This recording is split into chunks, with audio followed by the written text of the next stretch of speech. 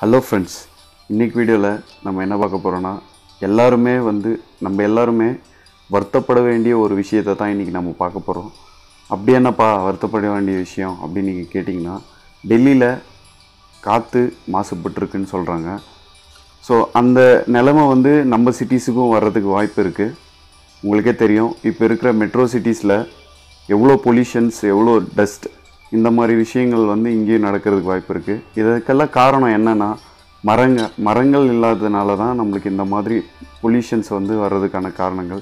இப்போ டெல்லியில் ஒரு அவல நிலை ஏற்பட்டிருக்கு. அது என்ன அப்படின்னு நீங்கள் கேட்டிங்கன்னா காற்றை காசு கொடுத்து வாங்குற நிலைமைக்கு ஆகிட்டுருக்கு ஆமாம் ஃப்ரெண்ட்ஸ் ஆக்ஸி பியூர்ன்ற ஒரு கம்பெனி வந்து ஓப்பன் பண்ணியிருக்காங்க.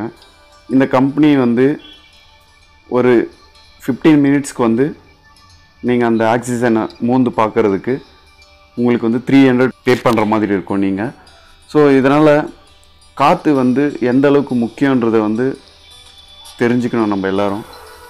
காற்று இப்போ காசு கொடுத்து வாங்குகிற டெல்லி நாளைக்கு இதே நிலைமை நம்ம சிட்டிஸுக்கும் வர்றதுக்கான வாய்ப்புகள் இருக்குது டெல்லியில் இந்த கம்பெனி ஸ்டார்ட் பண்ணி சக்ஸஸ்ஃபுல்லாக போயின்னு இருக்குது ஸோ இவங்க வந்து இந்த காற்றை வந்து மூணு விதமான நறுமணத்தால் வந்து கஸ்டமருக்கு வந்து கொடுக்குறாங்க.